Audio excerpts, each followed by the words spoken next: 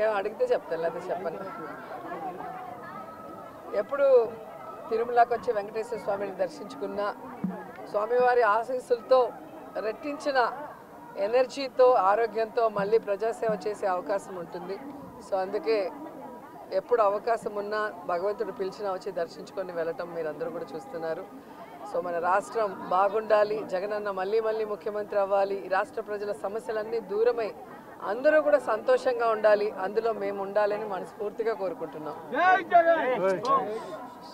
Madam రోజా గారి ఈ మధ్య నిరాశతో ఉన్నారు నగిరి టికెట్ లేదని సోషల్ మీడియా ప్రచారం జరిగింది. పార్టీ కూడా ఈ- దూరంగా ఈ- ఈరోజు మీరు పేపర్ తిప్పేసి చూస్తే తెలుస్తుంది. ఎవ్రీ డే గడప గడపకి పల్లె నిద్ర చేస్తూ ఏ విధంగా ప్రజలకి అభివృద్ధి కార్యక్రమాలు భూమి పూజలు చేస్తూ తిరుగుతున్నారో మీరు చూస్తున్నారు.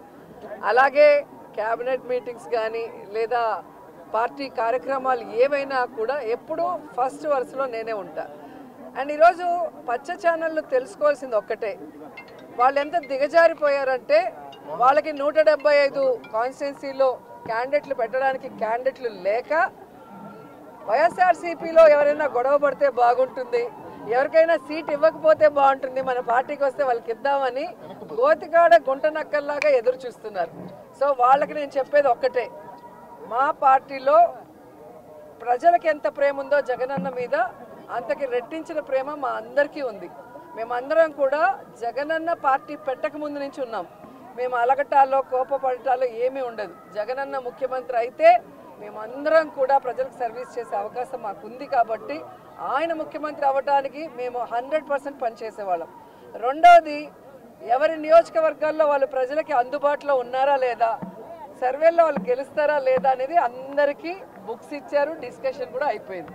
సో ఎవరికైతే ప్రజల్లో తిరగని వాళ్ళకి సీట్లు లేదు అంటే వాళ్ళకి కూడా అవకాశం ఇచ్చారు. ఒక ఎయిట్ మంత్స్గా మళ్ళీ తిరిగి సర్వేల్లో కొంచెం పెంచుకోండి అని. ఎందుకంటే ఎక్కడా కూడా జగనన్న మీద ఎవరికి వ్యతిరేకం లేదు.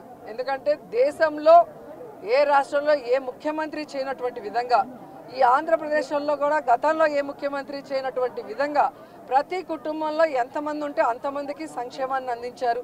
ప్రతి గ్రామ వార్డులకి ఈరోజు అభివృద్ధిని అందించారు.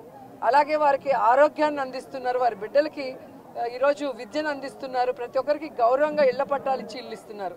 ఇంతకన్నా ఏ ముఖ్యమంత్రి దగ్గర ఎవరేం కోరుకుంటారు?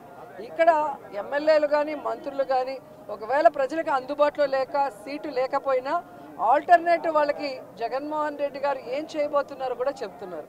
కాబట్టి అందుకే ఎక్కడ గొడవలు లేవు ఈ కోపతాపాలు లేవు. అండ్ నా విషయానికి వస్తే నగిరిలో రోజాకి సీటు లేదు అంటే ఆంధ్రజ్యోతి రాధాకృష్ణన్ నుంచి ఉంటాడా లేదా రామోజీ నుంచి ఉంటాడా ఆన్సర్ చెప్పాలి. ఈరోజు చంద్రబాబు నాయుడుకి ఒక చోట నించుండే దానికి దమ్ము లేదు. పవన్ కళ్యాణ్కి ఒక చోట నించునే దానికి దమ్ము లేదు. అందుకే రాబోయే ఎన్నికల్లో రెండు రెండు చోట్ల నించుంటామని చెప్పి సర్వేలు చేయించుకుంటున్నారు. మేము మా ప్రజలకి అందుబాటులో ఉన్నాం కాబట్టే ఈరోజు రెండు సార్లు ఎమ్మెల్యేలైనాం మంత్రులయ్యాం. సో ఖచ్చితంగా twenty twenty four one seventy ఫైవ్కి వన్ సెవెంటీ ఫైవ్ కొట్టబోతున్నాం. మేమందరం కూడా గెలవబోతున్నాం. మళ్ళీ ప్రజల ఆశీస్సులతో ప్రజలకి సర్వీస్ కూడా చేయబోతున్నాం అనేది పచ్చపత్రికలు తెలుసుకోవాలి.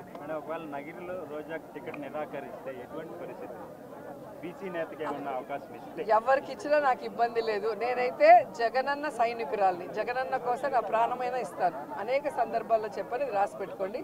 అండ్ ఎవరైతే సునకానందం పొందాలనుకుంటున్నారో రోజాకి సీటు లేదు అని ఒక స్టోరీ లేసి అది మీకు కొన్ని రోజులకి మాత్రమే సునకానందం. మా కార్యకర్తలకో నాయకులకో ఎవరికి కూడా బాధ లేదు. ఎందుకంటే వాళ్ళకి నిజం తెలుసు నాకు సీటు ఉందని. ఒకవేళ సీటు లేదని మీరు ఆనందపడినా కూడా నాకు ఇబ్బంది లేదు.